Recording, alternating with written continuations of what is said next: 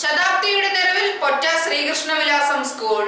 ആയിരത്തി തൊള്ളായിരത്തി ഇരുപത്തിരണ്ടിൽ ചേറുംകോട്ടിൽ ശങ്കുണ്ണി നായരാണ് സ്കൂൾ ആരംഭിച്ചത്. ആയിരത്തി തൊള്ളായിരത്തി മുപ്പതിൽ സർക്കാരിന്റെ അംഗീകാരം ലഭിക്കുന്നതുവരെ ശങ്കുണ്ണി നായരും കരുണാകരൻ നായരുമാണ് ഇവിടെ പഠിപ്പിച്ചിരുന്നത്. സ്കൂളിന്റെ നില ശോചനീയാവസ്ഥയിൽ ആയതിനെ തുടർന്ന് ആയിരത്തി തൊള്ളായിരത്തി എൺപത്തി മൂന്നിൽ പൊറ്റ മുസ്ലിം ജുമാഅത്ത് കമ്മിറ്റി സ്കൂൾ ഏറ്റെടുത്തെങ്കിലും പേര് മാറ്റിയില്ല.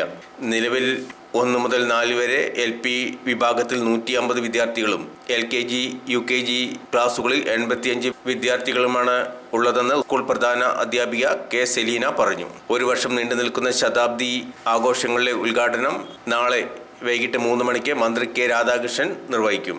എം പി രമ്യ ഹരിദാസ് മുഖ്യ അതിഥിയാകും. മറ്റ് ജനപ്രതിനിധികളും പി ടി എ ഭാരവാഹികളും സ്കൂൾ മാനേജ്മെന്റ് അംഗങ്ങളും ചടങ്ങിൽ പങ്കെടുക്കും. നമ്മുടെ വിദ്യാലയത്തിന്റെ ശ്രീകൃഷ്ണവിലാസം ലോവർ പ്രൈമറി സ്കൂളിന്റെ ശതാബ്ദി ആഘോഷം നമ്മൾ നടത്താൻ പോവുകയാണ്. നമ്മുടെ വിദ്യാലയം സ്ഥാപിതമായിട്ട് ഒരു നൂറ്റാണ്ട് പിന്നിട്ടിരിക്കുകയാണ്. ആയിരത്തി തൊള്ളായിരത്തി ഇരുപത്തി രണ്ട് ഇരുപത്തിരണ്ടിന് ചേറുമൂട്ടിൽ ശങ്കുണ്ണി നായർ എന്നൊരു മഹാ വ്യക്തിയാണ് ഈ വിദ്യാലയം സ്ഥാപിച്ചത്. അപ്പോൾ അന്നത്തെ കാലത്ത് ഒരു നൂറ്റാണ്ടിനപ്പുറമുള്ള ഒരു സാമൂഹിക പശ്ചാത്തലം എന്ന് പറയുമ്പോൾ ജാതി വ്യവസ്ഥയിൽ ആ, വല്ലാതെ ഈ പറഞ്ഞ പോലെ വിദ്യാഭ്യാസപരമായി പിന്നോക്കം നിൽക്കുന്നൊരവസ്ഥ വല്ലാത്ത ജാതി ചിന്ത ഇതിനിടയിൽ ഒരു പ്രസിദ്ധ നായർ തറവാട്ടുകാരനായിട്ടുള്ള ഈ ചേറുംകോട്ടിൽ ശങ്കുണ്ണി നായർ നമ്മുടെ ഈ പ്രദേശത്ത് കൊച്ച എന്നുള്ള ഈ പ്രദേശത്ത് കൂടുതലും മുസ്ലിം ഭൂരിപക്ഷ പ്രദേശമാണ് അതുപോലെ തന്നെ പിന്നോക്കം നിൽക്കുന്നവരും പാർശ്വവൽക്കരിക്കപ്പെട്ടവരുമായിട്ടുള്ള ഇങ്ങനെയുള്ളൊരു നാട്ടിൽ ഈ വിദ്യാലയം സ്ഥാപിച്ചത്. എന്താ പറയുക അദ്ദേഹത്തിന്റെ ആ ഒരു ആ ഒരു പ്രവൃത്തിയെ നമ്മൾ ഒരുപാട് പ്രശംസിക്കേണ്ടതുണ്ട്. അദ്ദേഹത്തിന്റെ ഈ കുട്ടികൾക്ക് വേണ്ടിയിട്ട് എന്തെങ്കിലും അറിവ് പകർന്നു നൽകുക എന്നുള്ള അദ്ദേഹത്തിന്റെ ആത്മാർത്ഥമായ ഒരു ആഗ്രഹത്തിന്റെയും ഉറച്ച തീരുമാനത്തിന്റെയൊക്കെ റിസൾട്ടാണ് ഈ വിദ്യാലയം ഇവിടെ സ്ഥാപിച്ചത്. അങ്ങനെ കുറേ വർഷം ഇത് സ്റ്റാഫ് മാനേജ്മെന്റിന്റെ കീഴിലായിരുന്നു. ആദ്യ വർഷങ്ങളിൽ കുറച്ച് നാൾ അംഗീകാരം ഉണ്ടായിരുന്നില്ല. അംഗീകാരം കിട്ടിയതിന് ശേഷം എം ഗോവിന്ദൻ നായരായിരുന്നു ഇവിടുത്തെ പ്രധാന പ്രഥമ അധ്യാപകനായിരുന്നു. പിന്നെ കുറേ വർഷം സ്റ്റാഫ് മാനേജ്മെന്റ് നോക്കി പിന്നെ അവർ അത് കൈമാറാനുള്ള ഒരു താല്പര്യമൊക്കെ പ്രകടിപ്പിച്ചു. അങ്ങനെ ആയിരത്തി തൊള്ളായിരത്തി എൺപത്തി മൂന്നിൽ നമ്മുടെ കൊച്ച മുസ്ലിം ജമാഅത്ത് കമ്മിറ്റി ഇതിന്റെ ഭരണം ഏറ്റെടുത്തു. ഇപ്പോൾ അവരാണ് കാര്യങ്ങളെല്ലാം നടത്തിക്കൊണ്ട് പോകുന്നത്.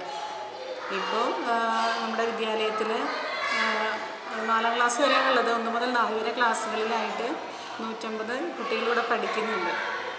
പിന്നെ കെ ജി സെക്ഷനുണ്ട്. അതിലൊരു എൺപത്തഞ്ച് കുട്ടികളോളം അതിലുണ്ട്. അങ്ങനെ ഇരുന്നൂറ്റി മുപ്പത്തഞ്ച് കുട്ടികളിവിടെ അധ്യയനം നടത്തി വരുന്നുണ്ട്. അപ്പം അതിന്റെ ശതാബ്ദി ആഘോഷം ഇതിന്റെ ഉദ്ഘാടനം നാളെയാണ് നമ്മൾ നടത്താൻ ഉദ്ദേശിക്കുന്നത്. നാളെയാണ് നടത്താൻ തീരുമാനിച്ചിട്ടുള്ളത്. അപ്പോൾ അത് ഉദ്ഘാടനം ചെയ്യാനെത്തുന്നത് നമ്മുടെ ബഹുമാനപ്പെട്ട പട്ടികജാതി പട്ടികവർഗ പിന്നോക്ക ക്ഷേമ വകുപ്പ് മന്ത്രി ശ്രീ കെ രാധാകൃഷ്ണൻ അവർകളാണ്. അപ്പോൾ അതിനായിട്ട് മുഖ്യ അതിഥിയായിട്ട് എത്തുന്നത് നമ്മുടെ ആലത്തൂർ എം പി രമ്യ ഹരിദാസാണ് കുമാരി രമ്യ ഹരിദാസാണ്. പിന്നെ നമ്മുടെ ഇവിടുന്ന് റിട്ടയർ ചെയ്ത് പോയ ടീച്ചേഴ്സിനെയൊക്കെ നമ്മൾ ആദരിക്കുന്നുണ്ട് നാളത്തെ ചടങ്ങിൽ അപ്പോൾ ആ ആദര ആദരണീയം അത് നിർവഹിക്കുന്നത് നമ്മുടെ ബ്ലോക്ക് പഞ്ചായത്ത് വിദ്യാഭ്യാസ ആരോഗ്യ സ്റ്റാൻഡിംഗ് കമ്മിറ്റി ചെയർമാനായിട്ടുള്ള ശ്രീ ജയൻ സാറാണ്. നല്ല പരിപാടികളോടുകൂടി നമ്മൾ നാളെ നടത്തുകയാണ്. നാളെ ഉദ്ഘാടന സമ്മേളനമാണ്. ഒരു വർഷം നീണ്ടു നിൽക്കുന്ന പരിപാടികളാണ് ആസൂത്രണം ചെയ്തിരിക്കുന്നത്. അപ്പോൾ അതിനെ തുടർന്ന് ഇനി ഒരു സ്മാരക സമർപ്പണമുണ്ട്. സൗനിയർ കുറേ കാര്യങ്ങൾ പ്ലാൻ ചെയ്തിട്ടുണ്ട്. അതൊക്കെ നമ്മുടെ കമ്മിറ്റി തന്നെയാണ് മുൻകൈ എടുത്ത് നടത്തുന്നത്.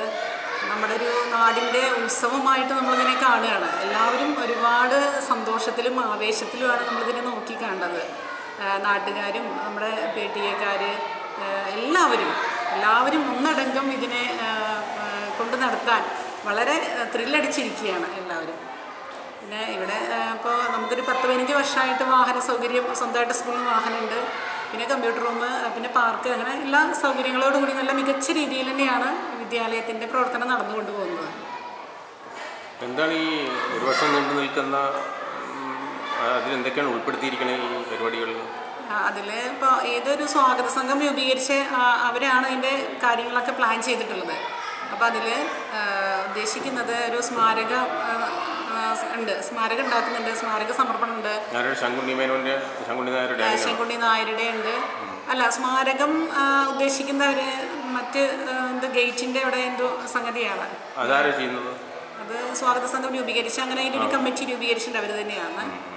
പിന്നെ നമ്മുടെ എല്ലാ അധ്യാപകരുടെയും ഇവിടെ നിന്ന് റിട്ടയർ ചെയ്തു പോയ മരണപ്പെട്ടവരുടെയും ജീവിച്ചിരിക്കുന്നവരുടെയും എല്ലാവരുടെയും ഫോട്ടോ അനാച്ഛാദനം ചെയ്യലുണ്ട് പിന്നെ പ്രബന്ധ മത്സരമുണ്ട് പിന്നെ ക്യാമ്പുകളൊക്കെ സംഘടിപ്പിക്കുന്നുണ്ട്.